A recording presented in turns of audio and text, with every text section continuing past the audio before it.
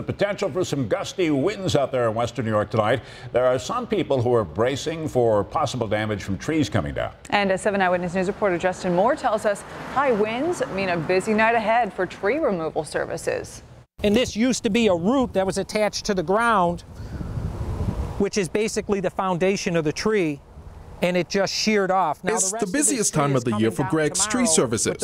Owner Gregory Sojka says hundreds of calls a week are coming in for branch and tree removal across western New York. Everybody's going pretty much seven days a week right now. Sojka expects a number of calls to pour in tonight as thunderstorms roll through the area. Right now, the trees are at their heaviest. They grab the most amount of wind, they hold the most amount of rain, and that combination will tear them apart. That's something Benny Garcia is concerned about daughter-in-law said, oh my gosh, a tree had four out. Garcia lives on Prospect Avenue in Buffalo. He heard this large branch fall from a tree across the street on Tuesday. He worries about the dead trees in his neighborhood potentially hurting someone. It should be tree by the city. City should check them because it could be a, a, tragedy someday. Buffalo's Division of Parks and Recreation says it received calls for about 40 downed trees and branches on Tuesday.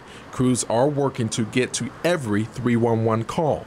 You can see over here the stress cracks in the tree Meanwhile, Sojka is bracing for what could be uh, a long night. In Buffalo, Justin Moore, 7 Eyewitness News.